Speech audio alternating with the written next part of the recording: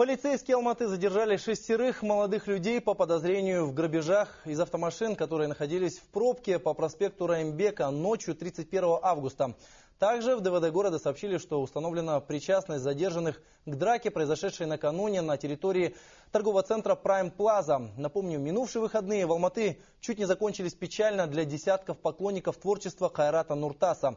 Выступление певца на площадке близ торгового центра неожиданно оборвалось. Нуртас ушел со сцены, спев только одну песню. Поклонники кумира не простили. В результате беспорядки и десятки пациентов городских больниц. Сергей Ким расскажет все подробнее. Кадры очевидцев из интернета. Популярный певец Кайрат Нуртас поет свой хит перед большим количеством народа, около трех тысяч человек. Ничто не предвещает беды. Благодарные зрители подпевают кумиру.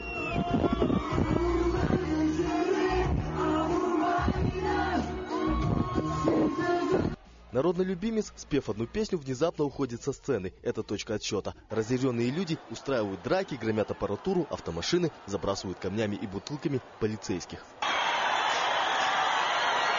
Прибывшим полицейским удается разогнать разгоряченную молодежь и оттеснить хулиганов с площади на проезжую часть в сотни метров от торгового центра. Развороченная сцена, десятки пострадавших полицейских и гражданских, разбитые автомашины. Произошедшие здесь, у торгового центра Prime Plaza, события стали настоящим шоком для алматинцев. Последствия погрома хорошо видны спустя полчаса после окончания беспорядков. По информации полицейских, всего задержаны 165 человек. Люди начали кричать «Кайрат Нуртасов, хотим его!» Их успокаивали, потом они начали все полностью ломать, крушить бутылками, кидаться. Даже детей, детей даже били вот маленьких. Люди дальше кидали, били, всех топтали просто. Прибывший на место Аким города говорит, что по предварительным данным виновники – организаторы неудавшегося праздника. И они, конечно, естественно, понесут наказание, поскольку никаких согласований не было. А если без согласования, то они сами должны обеспечить порядок. Порядок не обеспечили.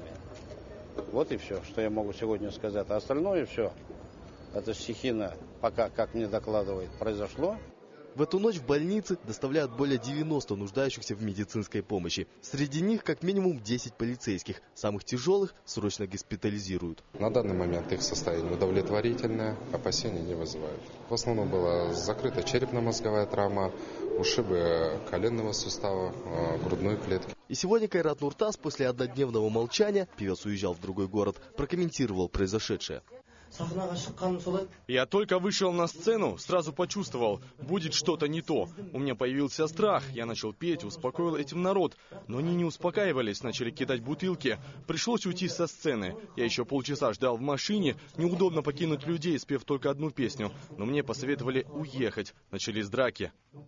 Певец и его мать, а по совместительству продюсер, во всем обвиняют организаторов концерта. Якобы те заявили выступление артиста как гала-концерт Кайрата Нуртаса, в то время как он был лишь гостем на этапе конкурса караоке.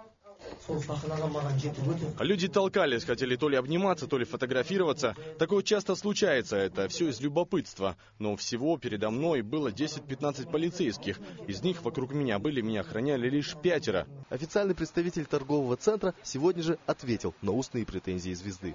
Это на самом деле была приглашенная звезда, приглашенный артист, потому что это был финал караоке-конкурса «Запой по пятницам», где Кайрат Нуртас должен был спеть, э, но не две-три песни, там на самом деле по, э, по нашему договору там было около 5-7 песен. Что касается недостаточного обеспечения охраны, то здесь вопрос вообще очень странный, потому что 150 э, человек личного состава это нам выделили в Оводовском РУВД. Ущерб, по словам официального представителя торгового центра, составил 30 миллионов тенге и все еще уточняется. Взыскивать эти деньги руководство Prime Plaza собирается с непосредственного организатора вечера ИП Хабибулина.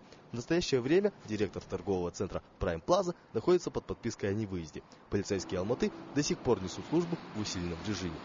Сергей Ким, наш Дирис, Максим Шулепов, Алмаз Нурдос, Седьмой канал, Алматы.